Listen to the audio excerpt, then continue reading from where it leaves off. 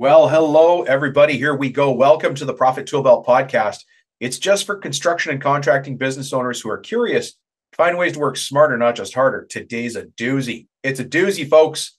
My name's Dominic Rubino. I'm going to be your host, but our guest today is Tom Reber. You know Tom from the Contractor Fight uh, and his podcast.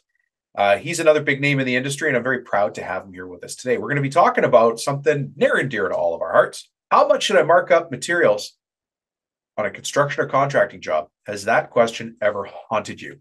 It used to haunt me until I started invoicing with confidence.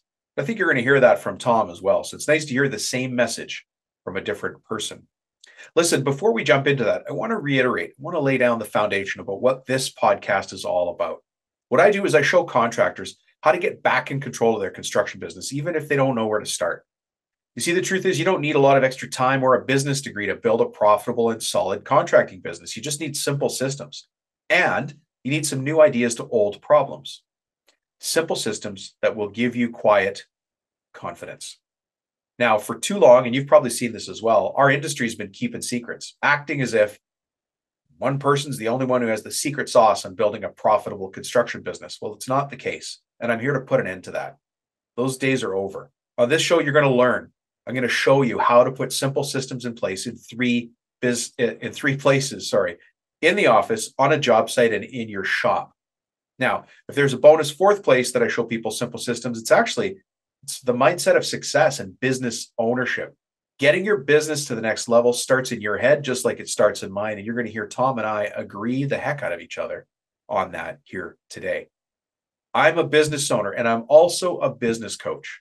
The only people I work with are construction and contracting business owners who want to get to the next level in their business.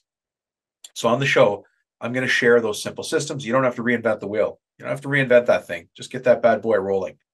So, if you're a business owner and you find out that you find yourself curious on how to find ways to run your business profitably, to have more time off, do the things you love, to build a team you can rely on and grow a company that one day you could sell or pass on to somebody else or just live off the cash flow, well, then you are in the right place.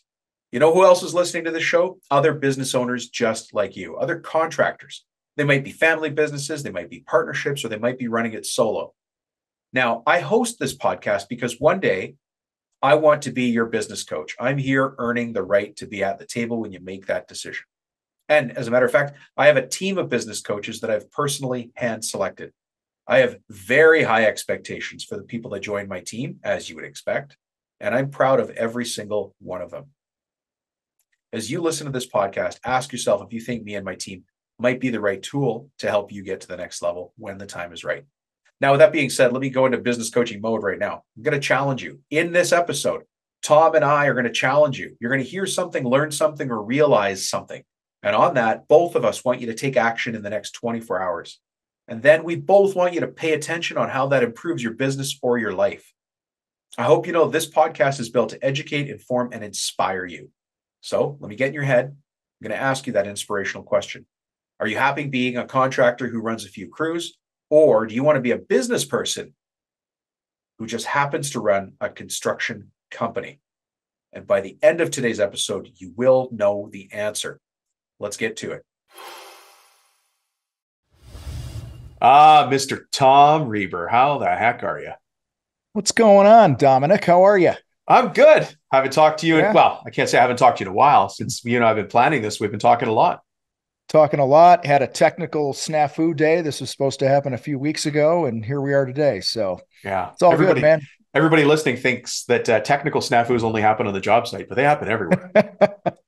Yeah, I had uh, the internet gods in our area just weren't having it for a few weeks there. It was crazy, man. Yeah. But anyway, yeah. It's somebody, somebody in a backhoe close to you. He's like, look, Tom Reber's internet's running through here. Let's just tap it with the back of the shovel and uh, see what happens. Yeah, it had to be something like that. I don't know. It's it was crazy though. But yeah. no, it's good to finally be here and have a conversation with you, man. Yeah. Well, I'm looking forward to it as well. And I think this is going to be a very popular episode because you and I, we're mm-hmm. biting off a big chunk to chew. Yeah. The topic yeah. today is how much do I mark up for materials? Mm-hmm. You think we can get through that in an hour? Probably can. I, I am more curious how many people right out of the gate are going to be like, "Oh, these guys are full of crap. You can't do that." Hey, let's you start know? with the fact so, that you and I are full of crap and work our way yeah, back up. There you go. All right, yeah. cool. It's our, it's our case to make at this point, yeah, right? There you go. That's a good so, way to say it. No, all good. Now, listen, some people may not have heard about you before or mm-hmm. watched your YouTube videos or heard your podcast. So I'll ask the question I ask all of my guests. You ready for this? I got you. Tom Reber, who the heck are you? And how is it you come to be speaking all these forward facing contractors all over the world? Oh, man. Who am I? You know, I'm, uh, I'm a guy who wakes up every day trying to add value to the world by demolishing helping people demolish mediocrity in themselves at, at, home and in their businesses. I mean, is is as broad as I could give it to you mm-hmm. there, right?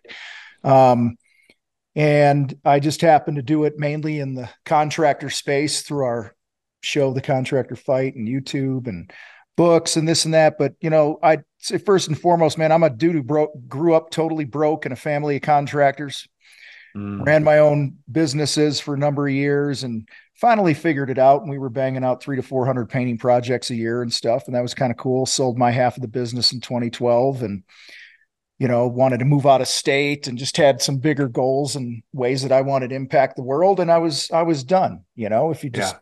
just to be blunt and, um, you know i i'm a coach at heart. You know i coached high school football for 17 years so it was just naturally i just want to i wake up every day wanting to help people get better you know? Yeah. and so you know i've been blessed to to just have um you know and you, you get this because you do this right? Like you you hit record one day and some people gave a crap right? And, and they kept the audience you, you, do yeah. yeah and they keep coming back and you know we're um so I'm, I'm just blessed to be able to do what I do and be me and help other people win in, in life and in business. Um, you know, at our events and stuff, I, I start out every event by basically telling our, you know, there's usually, you know, 400 or more contractors in the room where I go, I don't really care about your business. you know, I care about you. I care about your life. Oh, I care about the type of, Yeah. Uh, the type of husband you are. You can always start a business. You can always get a career or find a way to make money. Money's the easy part, man. Mm. And um, you know, but don't don't burn your family and your health and relationships to the ground uh, because you're unwilling to do what it takes to be a successful business owner because right. the business should, should serve you, not the other way around. And so, man, and I and like I've been there, I've been bankrupt, made millions. Um, I, you know, the first uh, I, the first sizable job for me as a painting contractor. I sold for twenty eight thousand dollars, and I was like, I'm going to be rich. Yeah. And uh, yeah. it was my first That's year. That's a good sized job, though. That's not a bad job. Yeah, it was going into my first winter and my first year of business, hmm. and I chased this thing down for months. Long story short, I charged twenty eight grand. It cost me forty five to do it. Oh. Which means in my world, I should have charged about a hundred grand right. for the project. Uh, what made it worse, it was GC'd by a guy who GC'd his own project. He was an attorney and he was colorblind. So like it's all this, it it was just so I, I've learned You had uh, me at attorney, but then colorblind yeah. added to the problem, right? Yeah, and because I didn't have paperwork in order, I didn't price my work right. I was selling from a place of desperation, you know, mm. all those things that we struggle with when we start yep, a business. Yep, and yeah. You know, he just knocked me around for about a year you know i couldn't finish this project no matter what. I had to strip he had like these three gorgeous staircases he approved the stain colors on and then he'd have to strip them because he didn't like them and then then like six months later i find out he's griping about the stain color one day on a saturday. I met him there and his girlfriend was with him. She goes what do you care? You're colorblind. And i just looked at him and i went what? are you kidding me? That's what yeah. so but i didn't have paperwork in order man. I didn't you know i was i was a chicken. You know you, you no, you're new in business. That's how you learn. You're new and you're like if i stand up for myself you know, which I never knew how to do in the business mm. world. They're not going to pay me. And then if they don't pay me, I can't feed my kid. And they'll and, say bad know, things to the next person. I'll never get the next yeah, job. Yeah. Yeah. So I, I've it's, been there and, and, and I've, you know, I mean, dude, I've, I grew up, uh, spent two years in special ed. I rode the short bus. You, you name it when it comes to mental negative self talk and head mm. trash. I've had it, struggle with it, still have flare ups now and then. And, um, yeah, I'm starting to lose my sentences. I'm I'm losing words halfway through my sentences, and I don't know when that started. But well, I think that happens because as you get older, you get wiser and you have so many options of good things to say. You just don't know what to There- say. You kind of have gray- this block. The So- gray hair, I've earned. I've earned the gray, right? I've earned the gray.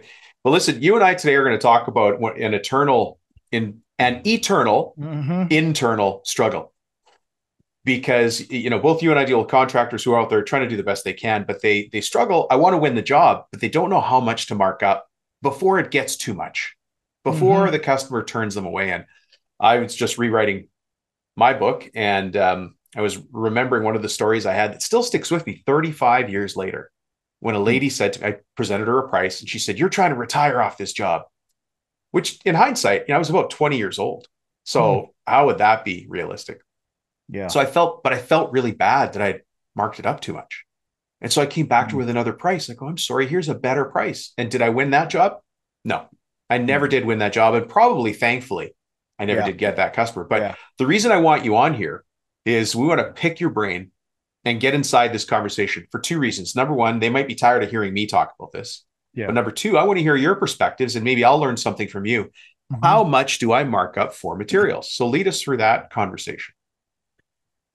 Yeah, so I want to pull everybody way back to the one of the overall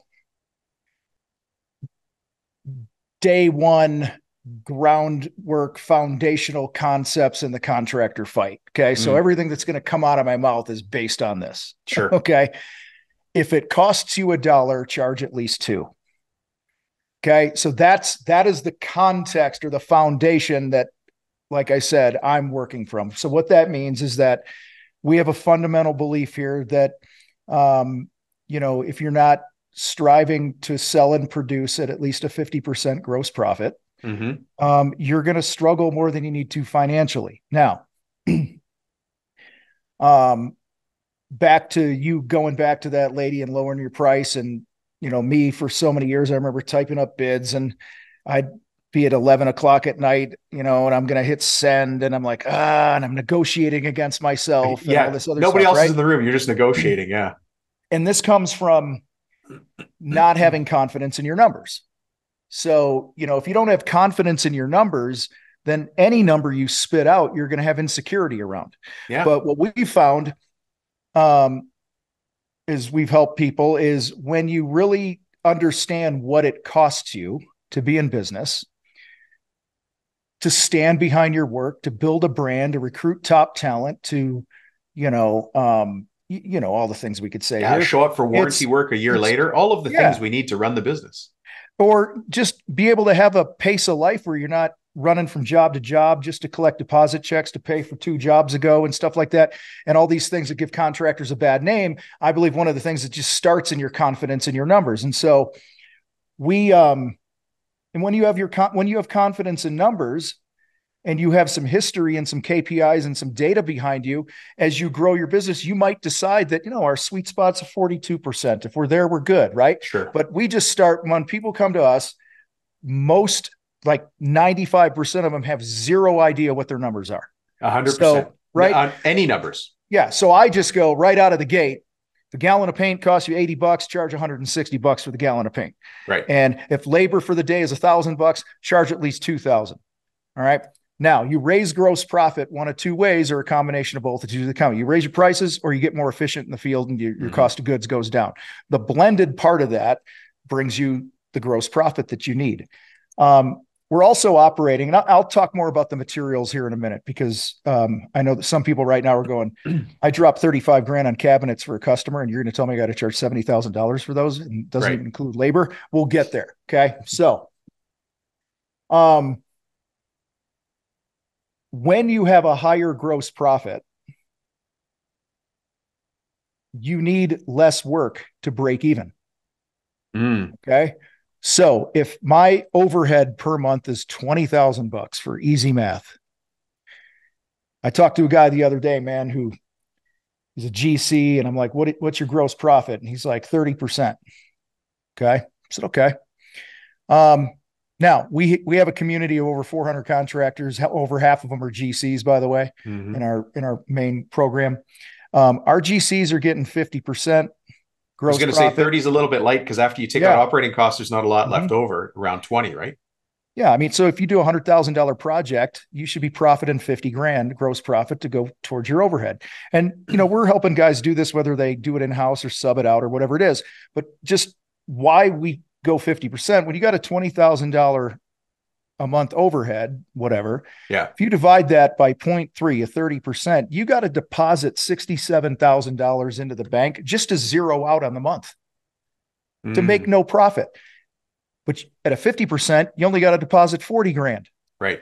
right? And so You're doing the same work anyways. You Yeah. might as well do less work. Yeah, so so that's your break even revenue. You know, a lot of and the other big thing I know you see when you look at people's numbers is they might be selling the job at a 50 or a 45 or whatever and they're producing it at a 20 or 30 or 35 and so they're not making what they think Right. because they have a production issue. So I, I share all this just for context around what we've found doing this for a decade or whatever and helping thousands of contractors is the fastest way to win financially is raise your gross profit. Okay. I, in fact, Yeah. I get a lot of crap from people on my YouTube channel like, you never talk about net profit. And I'm like, you guys don't even understand what a cost of goods means, man, and direct Before cost we and get down gross to net. profit. Like, Yeah, yeah. and you want to, you want more bottom line, fix the gross profit. Let me let me ask you something on this because one of the things that I've found over the years is that the biggest resistance to a price increase, if I'm Mhm. looking at two people in a room, one's the business owner and one's the consumer, who do you think has the biggest resistance to increase in price? The business owner, Every single Mhm. time. they're operating Every time. fear.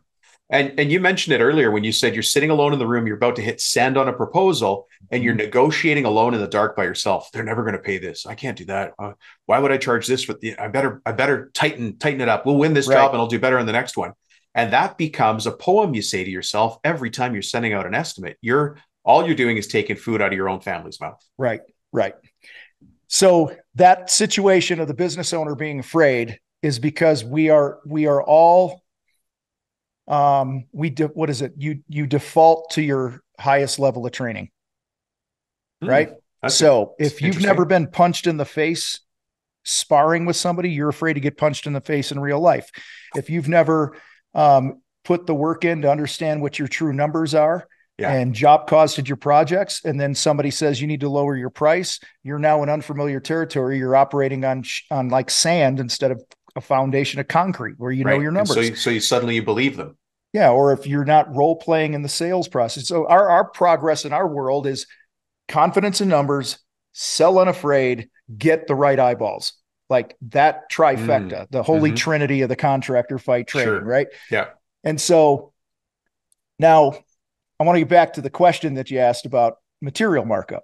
All right. So there are some people that just go, I'm just doing my direct job cost times two and calling it a day. That's it. And they work on bringing Yeah. in more of the right prospects, building the brand, really understanding how to sell and connect with their prospects. And they're selling the, the right jobs for them at the right profit margins and they're killing it. One of my old business partners um, who retired recently, Steve, um, that was Steve's model. Steve didn't, two. it was everything was times two. If he if he had to rent a piece of equipment for a thousand bucks a day, he charged the customer two thousand a day. But that's the same Okay. formula you went back to earlier. So Exactly. there's nothing wrong with Right. that formula. Right. Yeah, we're so and and I'm not here to judge how somebody does this, right? I'm just here to go, here's some possibilities. And you know, if I'm like painting, right? I come from the painting world, maybe 12, 15, 8, 16% of our revenue went to materials. Mm. You know, what's it for a GC? Right? Like it's It- Well, Depending on what your markup is, right? Depends on But so it- many things and what the yeah, product but you is. know, yeah. You know, like on, on a, you know, I have a four thousand square foot house or whatever. You know, it might be fifteen hundred bucks in material to paint my house. You know, so for me to charge three grand, not a big deal. You know, if you're putting cabinets in a new kitchen that costs you seventeen grand, I could see where you could pucker up a little bit. You know, And say, hey, and, you know, how am I going to do like, it? damn, But how am I gonna but that's that? a case So- where you've got to know your numbers, Tom, and you've got Right. to say, well, we're not going to double the price of the cabinets, but over the whole job, I'm going to make the money back. And having that confidence in your numbers allows you to know where to ignore them and where to double down.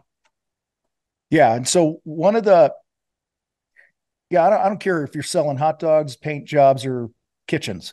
You got to know your numbers. It's your it's your I mean, dude, what's a business? What's the purpose of a business? To meet a need and get paid, right? Like, oh, that's a way shorter definition than I've got. One one A and one B. Yeah, one yeah. A and one B. Meet a need, make money. Yeah. Okay. So, and make enough money where you can have something to show at the end of your career for all the service that you provided to the world and you give your people a future. This is why I believe the recruiting issue in the trades right now is because contractors don't live attractive lives. Mm.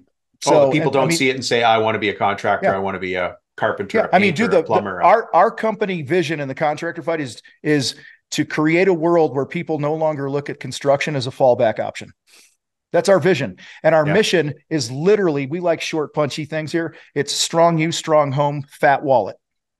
Nice. Imagine if every contractor was strong. Like I'm talking like they're not a big fat slob with plumber's crack, right? And and they're they have a good marriage and things are going good at home and they are making money and they're not they're living in gated communities instead of just working in them. Yeah. More people would look at that and be like, "Wow, that's a pretty cool life." I want to be a contractor. Yeah. yeah I call so, it having cash in the front pocket of your jeans. Like actual cash, wads of cash that looks like a cell phone in there. Oh, I love it. I love it. So yeah. so anyway, um so one of the strategies there's the cost times two direct, you know, so and if you pay, you know, if you have a crew in the field, just for clarity's sake, for people listening, yeah. all right, whatever it's whatever you get to write a check for to produce Mrs. Smith's project, mm. that's cost of goods. That everything that touches that project is right. you rent a piece of equipment, you get a permit, the materials, the labor. Yep. Okay. That's all, it's all there. Okay. Yeah. So you could just add all that up, multiply times two, and this is what we sell it at. Another strategy that I I've used in the past, worked with people, some of our GCs do, is they'll do a blended markup. Mm. So they'll mark their labor up times three or four. They'll mark the material up like you know one point one, one yeah, point just a bit one five, whatever, and make you know if the material costs them a hundred bucks and they make 115, but they're making 70% on labor whatever the it's numbers blended. work out, it's yeah. blended to be around a 50. Either way, and, you need to know your numbers. You, you right. know, you just you just made me think of something, and there's a million questions going on in our mm-hmm. listeners' minds right now.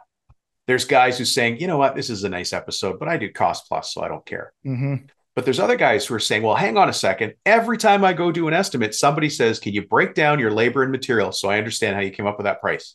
Mm-hmm. What do you do in that situation when somebody says, break down labor and materials?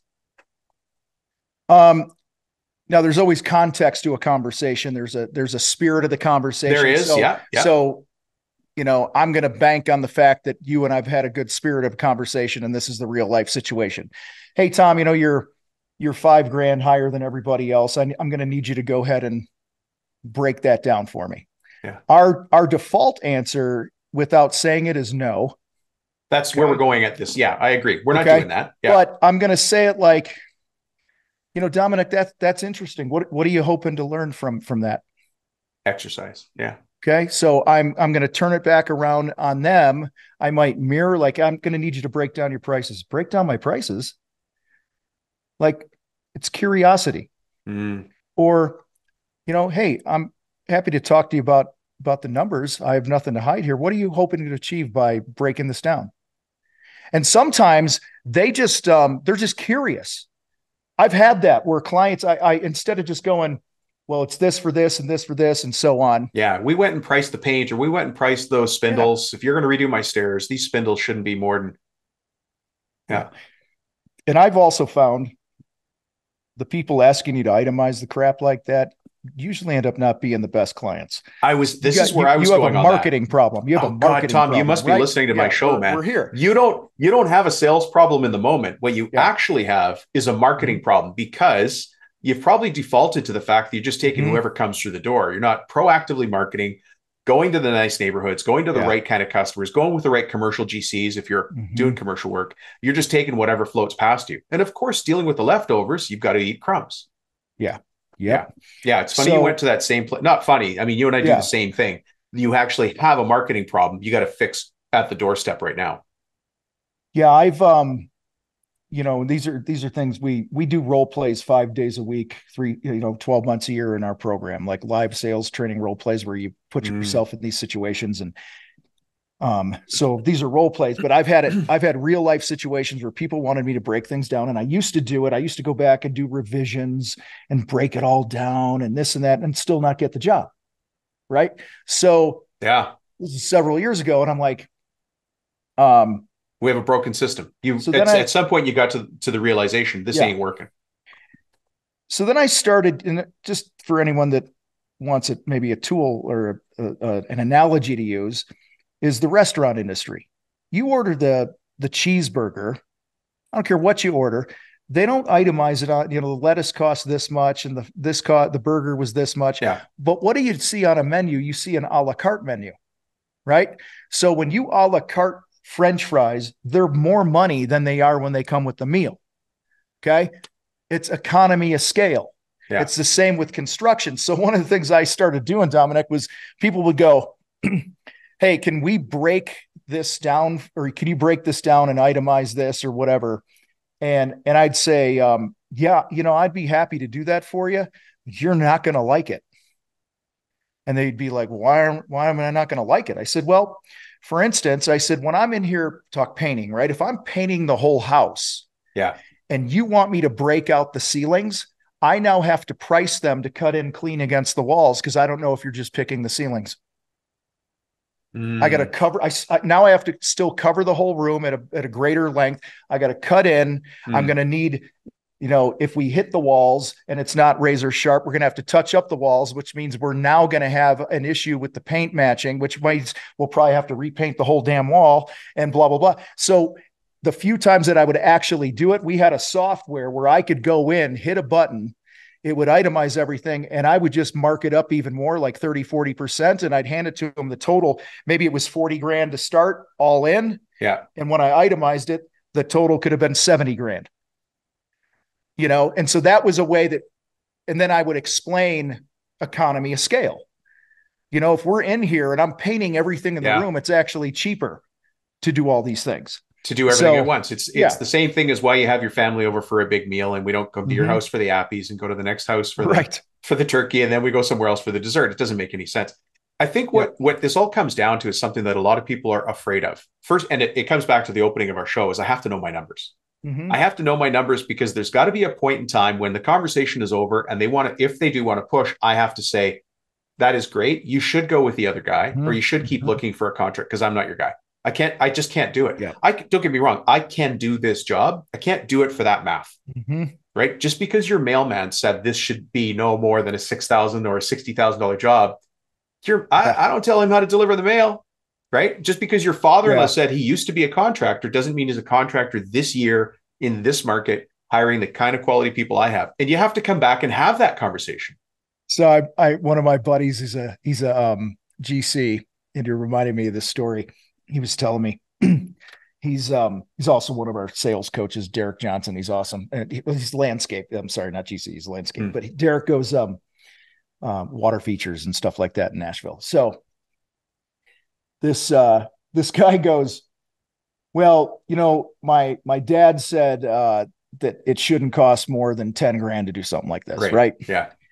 And and this is in the same one of the reasons people are uncomfortable with this in the sales process and number one they don't have confidence numbers. Number two they don't know how to truly communicate with people right? Right. And without getting offended just say things normally and, and defense. yeah, and so yeah. so derek very great spirit of the conversation. Tonality just goes huh your your dad?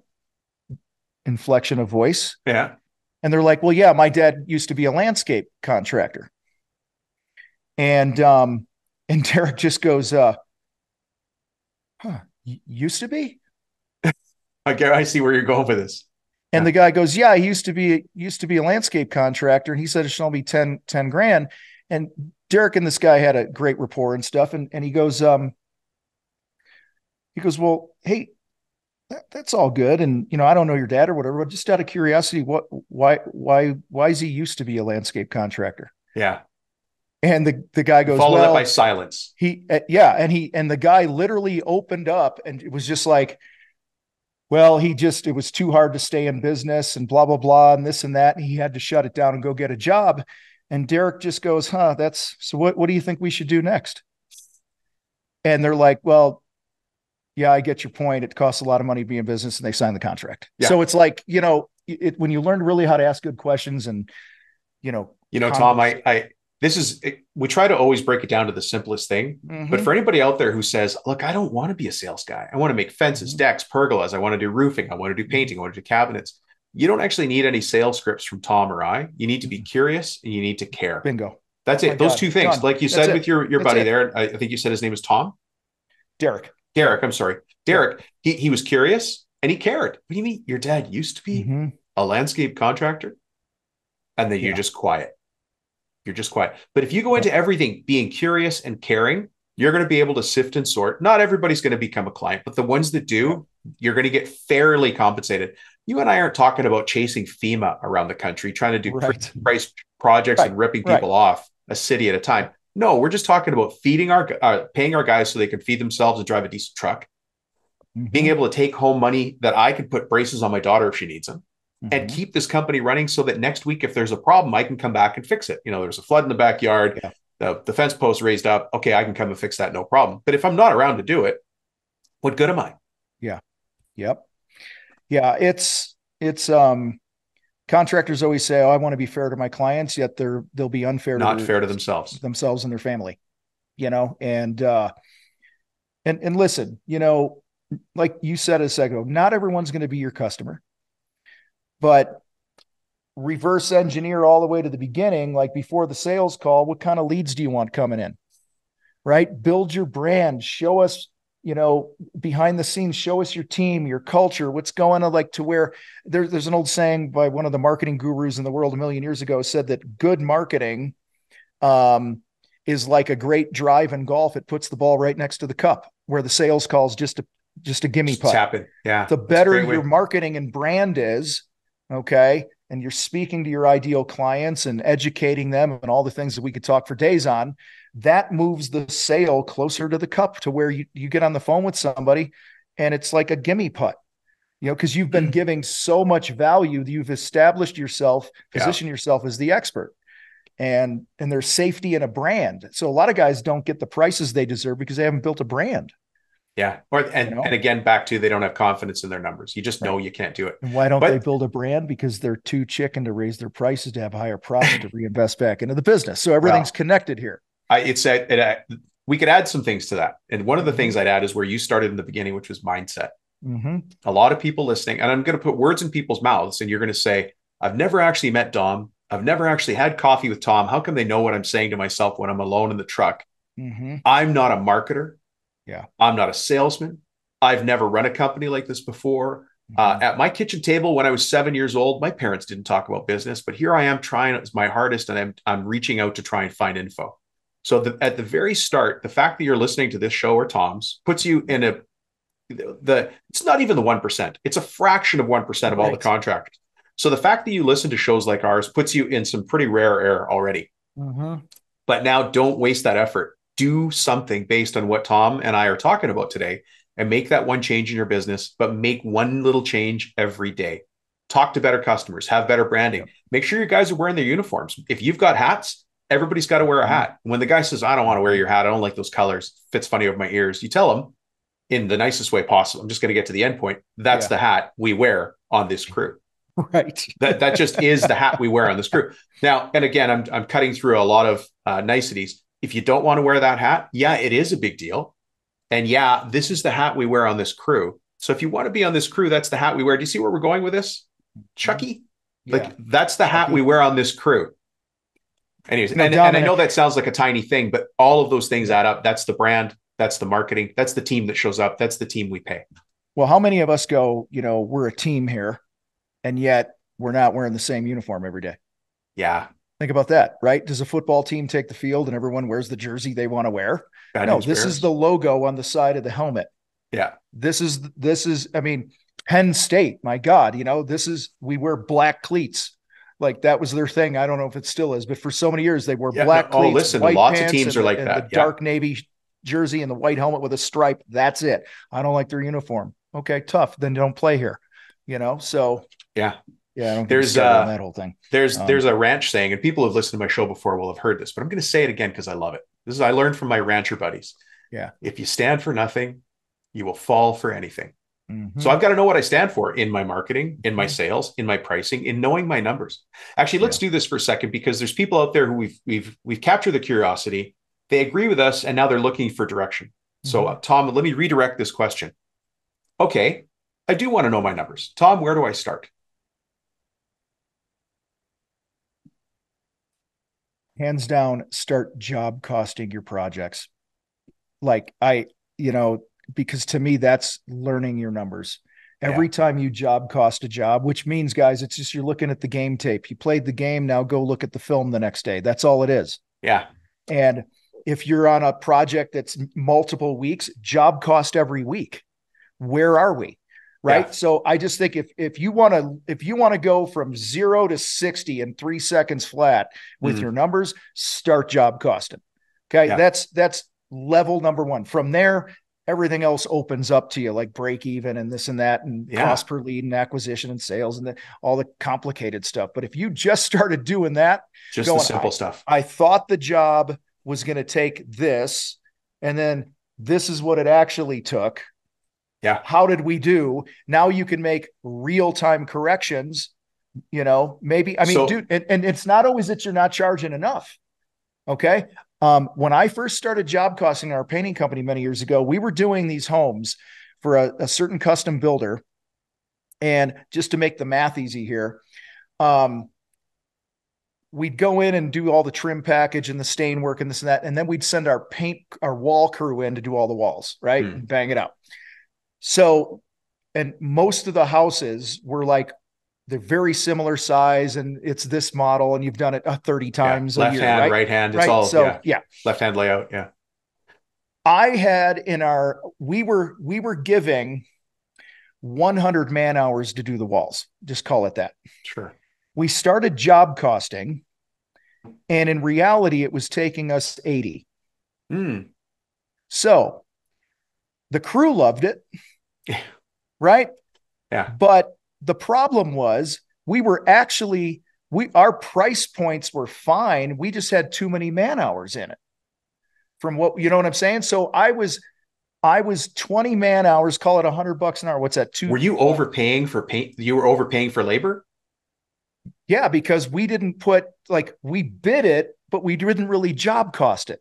Right you know and then we started tracking it kind of quietly we just my partner and i at the time started hmm. just tracking it without really saying anything and we realized on average we were finishing in around 80 hours so 20% less than what sure. we were bidding so what we did is we started training our crew leaders on tracking the man hours and giving them job budgets of time and all these things that you and I do for a living for yeah. people. I'm just saying sometimes it's not you have to raise your prices. Sometimes you need to adjust your production rates you know yeah. uh, on the fl- so we i was bidding too many hours on jobs which in turn if i bid other builders or whatever with that i'm pricing myself out of work not because i'm too expensive but I, my production rates were messed you've up got yeah you're putting the wrong inputs mm-hmm. and yeah. then on the flip side because we job costed and and our crew leaders were amazing we had weekly meetings and we were totally a team like airplane two wings sales and operations right i remember one of my crew leaders one day jose in the meeting he goes hey I've been doing some uh some documenting on the last few jobs and he says he starts with you're uh you're not giving us enough time to paint baseboards. Now you know as well as I do, the crew is always going. You don't give enough enough time, time for this, right? That was that's pretty specific, actually. If you broke yeah. it down to the point where you said baseboards, because when we bid it, we lit we had it per surface, so sure. the hours. Yeah. Okay, he goes, not giving us enough time for baseboards pause. Hmm. But I realized you're giving us about 15 minutes too much time on each door. So I pulled out my iPad with our yeah. software, went into the production rates. And I said, How much more time do you need on base? And we adjusted it. I went yeah. into the doors. I took off 15 minutes a door off the production rate. Problem solved. Now we're more accurate.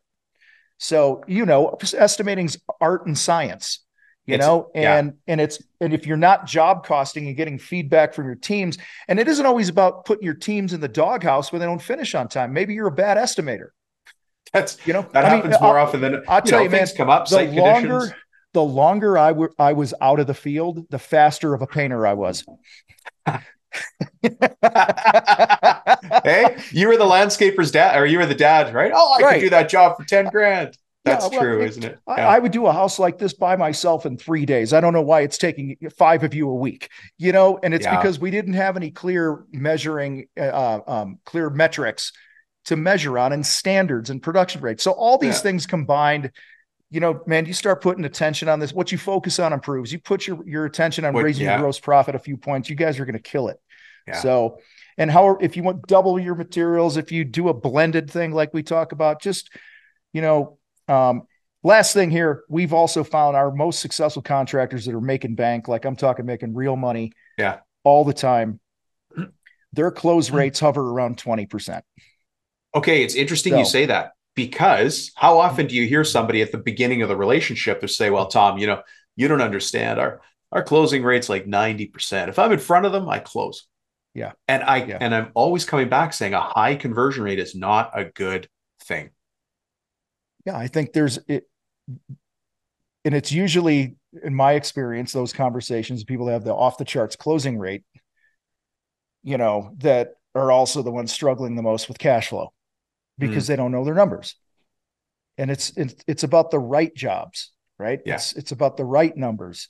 Now we we have this crazy thing where we teach people how to pre-qualify before you go out there. So in our community, you'll have guys that have a 90% close rate when they go to the site to pick up a deposit check, right? Mm. But their overall close rate of all leads that came in, Oh, but that's they're going to see a well qualified they're prospect. they're going they're to not see just some, going to see they've raw already prospects. had the conversation of what it's going to cost. Now it's yours to go out and confirm and not screw up by throwing up the harder I qualify, So- the easier it is to sell. If you if you front load that Mhm. hard work of asking the tough questions, making sure all decision makers are present, making sure everybody's going to be sitting down for the decision, making sure you have a clear understanding what the project scope is, who else is a competitor. If you do all that up front, Mhm. by the time people you're going to weed people out. They're like, "Oh, my husband can't be here, my wife won't take part in that conversation." Okay, that's great. You're not a lead for us. But once we Yeah. put people through all those little filters, by the time you get to decision, their hair is on fire. They're like, "Tom, when can you start?" I'm like, "Well, Yeah. let's look at the calendar. Let's figure that out." Well, what's also happening there, man, is is the fact that you are exuding confidence in your process and what you do when you take control of the sales process that way. Hmm. You know, you're not reeking of desperation like most of your competitors are, who don't who, Yeah. who don't understand that your number one role in business is to run the business, not to paint the thing or whatever the thing is. Yeah. So when you but you when you're out there and you could look somebody in the eye, I mean, I remember the first time somebody said to me, "You're," and and I learned, you know, we were doing sales training, and I was really good with objections and my confidence. And when when I finally turned the corner, Yeah. you know, when somebody says your price is too high, we usually go into defensive tap dancing mode, right? I gotta, oh well, overhead and gas and inflation and blah blah blah. Nobody cares about that. They care about them. Yeah. And so, and I believe that prospects are trained just to say stupid stuff like, Oh, they only have one prices. script. yeah, Yeah, your, price, is too high. Yeah. Yeah. And the other script they have is I got to ask my wife. Yeah. You've got that hidden decision maker and they've sent her away Mhm. or, you know, the husband. Yeah. Yeah. So, and then at one point, man, I was just like, why am I the one on the defense? I do this every day. I know what things cost. I know what can go wrong. I can. So it was just a, a reframe of mindset. And this guy said me, well, Tom, you know, your, uh, your, your price is just, just too high. Hmm. Just like that. The old Tom would have defended. The new Tom, I looked at him and I go, Hey, that, that's interesting. What makes you say that? And I just shut my mouth. Now he has to justify his position. Hmm. And he fumbled through it like a total moron because he had no basis to stand on, Yeah. They only have one script. you Yeah. know? And I, and he's like, well, and I, and I let him off the hook. I said, well, listen, um, if, if you don't want to write a check for what it's going to take for us to do this, totally cool. You know, this is what we cost Hmm. to give you the outcome that you want. What would you like to do next? He hired me. Yeah. But there's he- confidence in your delivery. Yeah. I'd hire Ex- you. Yeah. Yeah, it's and you don't always get them because some people just aren't going to pay no matter what it is. I mean, one of our people in our community, I, we just did a two hour training call before I hopped on this with you here today. We had this member. Um, she's a business owner and and she's been working on a guy. It is now November eighth, twenty twenty three. She started working on this guy's contract for some remodeling thing in February, and he keeps giving her the runaround. It's time to go. Won't make and and Cut it. and so she's like, I'm all stressed and this and that. And I go to the group. I go, guys, what are you doing if you're her? The chat box likes up, and the guy's name's Ryan. Fire Ryan. He's not your customer. Call Mm. him up right now and go, listen, it's been 10 months.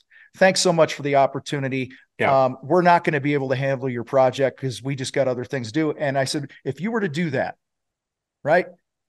How would you feel 10 seconds afterwards? She's like, the weight of the world would be off me because Yeah. she's been making decisions all year on this. Waiting for hope- this, We call that we call it Hope Island. I'm living on Hope Island for this project, Yeah. you know, and I'm not committing to other things because this one's going to close any day now.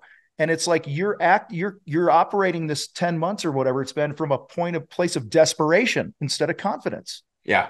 So y'all need to fight for your value, fight for your time and protect your sanity and all this stuff. And it, I don't know, man, it's a lot easier when you're making money.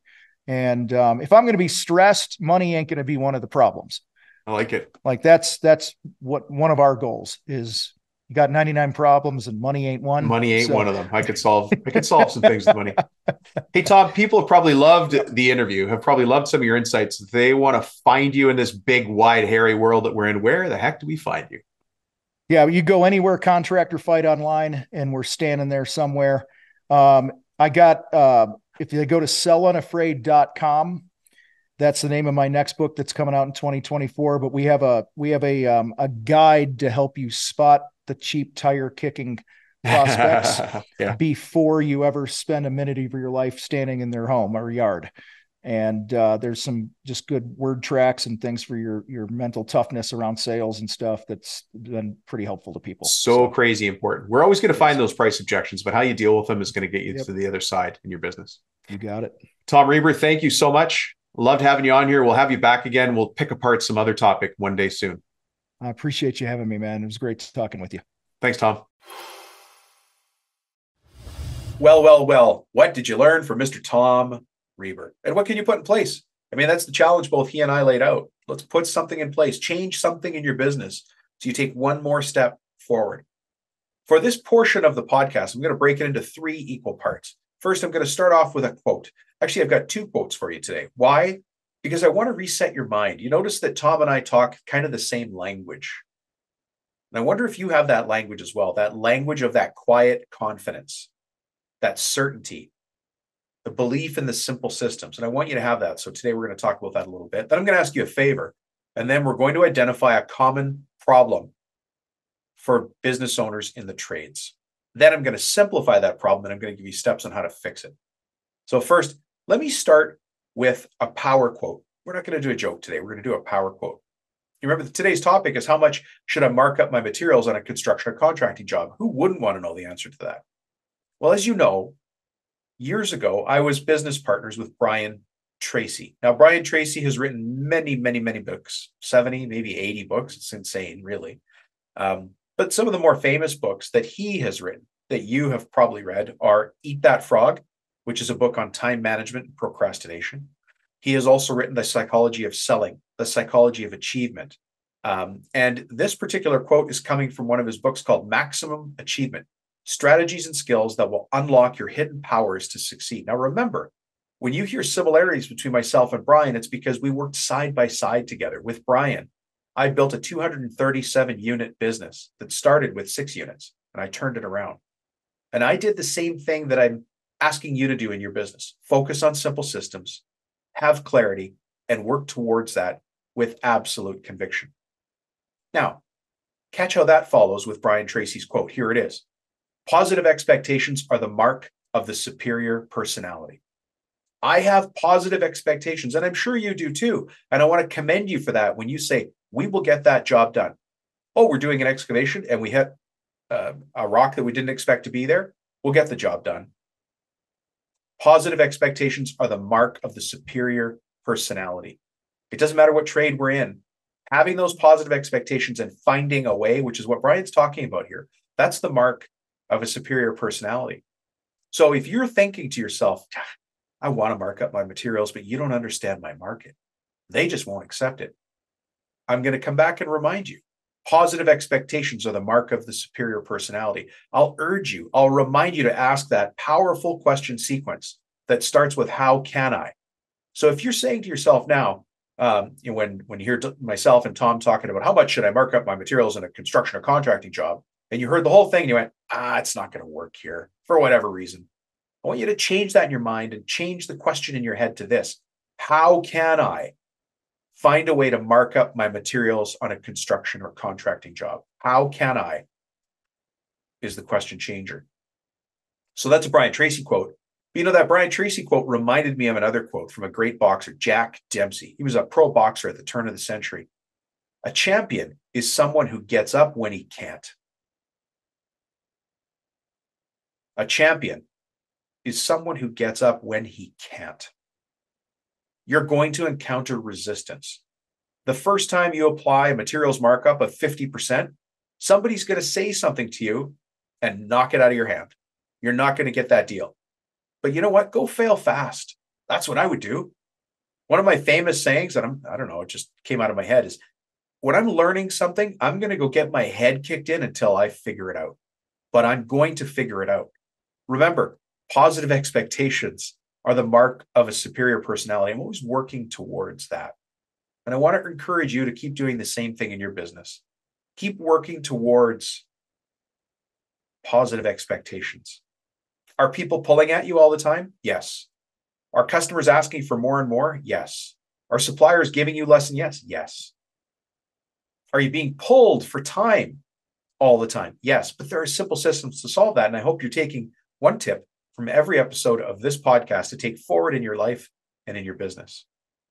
Anyways, I want to um I'm going to ask you a favor, and that favor, as you probably already know, is to ask you to leave a review or if you're watching this on YouTube, leave a thumbs up, positive remark. But um, I feel for a while like I've been just talking to a wall. And then I got a nice message from Dennis. Dennis, thank you. Um, Dennis left a review and then he also emailed me this story about paying it forward. I don't know where he found it. It came out of Arkansas. It's a story about a man at a market. Um, so I'm just going to read it to you as is. But it's about paying it forward. And I'd like you to pay forward something in the world. Again, it feels like it's for me, but it's not. I want you to leave a review so somebody else out there in their contracting business who's craving answers and ready to take the next step knows that this is a safe place to land. At least look around, get some good information. They might move on, but you've done your part. Here's the story that Dennis sent. Called, the title is The Man at the Market. When the supermarket when the supermarket clerk tallied up my groceries, it was $12 over what I had on me. I began to remove items from the bags when another shopper handed me a 20. Please don't put yourself out, I said to him. Let me tell you a story, he said. My mom is in the hospital with cancer. I visit her every day and bring her flowers. I went this morning and she got mad at me for spending my money on more flowers. She demanded that I do something else with that money. So here, please accept this. It's my mom's flowers. And that's a story out of Peel, Arkansas. It's very nice. Thank you, Dennis. I appreciate it. And Dennis, I actually appreciate the fact that you reached out and sent me that story. Um, so, folks, we talk about paying it forward. We talk about finding ways to add good to the world, and you know, it comes back. It just comes back. So that's a very nice story. Let's go and um, uh, touch here a little bit on a business problem. Simplify and solve a common business problem. The common business problem, and one of the things that Tom and I talked about here today on materials markup, is profit leaks. There are so many places in a construction business where you're doing things right. You didn't expect the sentence to go that way, did you? you're doing a lot of things right. I already know that you're a go getter. I already know that you work hard. I already know that you work smart. I already know that you outwork most people around you. I also know that you're generally disappointed, generally disappointed in the kind of people that show up to work if they're not putting in their full effort. And it kind of frustrates you. I also know that you're always looking for ways to get ahead. And when you do find a good idea that's easy to digest and easy to put in place, you do it.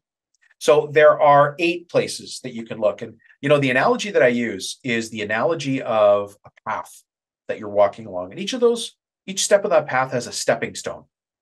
If you stop for a moment and kneel down, you pick up the stone ahead of you. That stone has the title of one of the profit leaks. One of the profit leaks is carved right in the top of that stone. But you pick it up and you look underneath, and there's a profit leak. Just go fix that.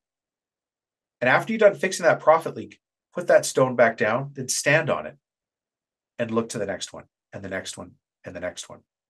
There's eight profit leaks in any construction or contracting business. They just exist. It's not different in Toledo than it is in Tacoma. It's not different in Tampa. It's not different in Toronto. I'm trying to think of uh, other cities that start with T in countries in Australia and New Zealand. It'll come to me. Toowoomba. Toowoomba is a place in Australia. I think it was there. Listen, it's all in front of you. And there, I, I have a simple system. All you got to do is text me to get the report. And then you can grab a coffee, sit at a coffee shop, put in your headphones with a nice hot cup of coffee, face the corner, grab a pencil or a pen, your favorite pencil or pen, and just noodle around the document. Think about where you could find those opportunities in your business. The, the document's called the Profit Leaks document. You just text me. You guys know the number already, but I'll say it again for those of you who are new to uh, the podcast. The cell phone number to ask for one of the free downloads is 315 903 7853. All right, this might be the first time you're listening with your spouse in the car. And your spouse, let's say it's your wife, is saying, you know what? That guy's offering some stuff for free. Why don't you grab it? So write down the number 315 903 7853. So, but just send me the keyword profit leaks because the title of the thing is way too long. Don't do not text me this. Quick report, find and fix the eight profit leaks in your contracting business. Who's got time for that? Just send me the word profit leaks and text it to me at the, the number. By the way, that's a new number. Some of you are still texting me at the old number, but I get too much spam at the old number. So this is the number we're using now. That number is, or the new number, sorry, the new number to text me at to get the download is 315 903 7853. And it's just, just say profit leaks.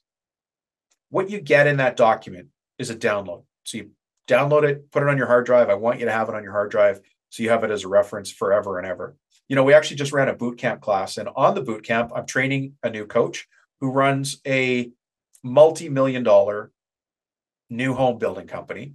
And also on that call is somebody who's just starting up their cabinetry company. They both got value from doing the uh, find and fix your eight profit leaks. And the only difference between the two of them was the number of zeros after their annual sales. But they still found value they still found value because the value is there. Remember, these are the the stepping stones on the path to profitability. You pick up one stone, you look under it. Oh, there you are. That little profit leak, you little you little sprat. Go and fix it. Put the leak down. Put that flagstone down. Step on it go to the next one. They're always going to be there, but you and I need to manage those. You know, one of the profit leaks I found with somebody is so easy. By the way, when I say this, you'll nod your head. You'll go, "That's too easy." It's too easy, Tom. I'm not gonna, I'm not even gonna bother with that one because it's so easy. Well, here it comes. I just sat down with a brand new client and we went and looked for profit leaks. And one of the very first things that we did was we looked at overheads, which comes here. That's one of the eight profit leaks that comes under budgeting. And we went and looked through overheads, but we did a line by line analysis of the overheads. Snooze fest.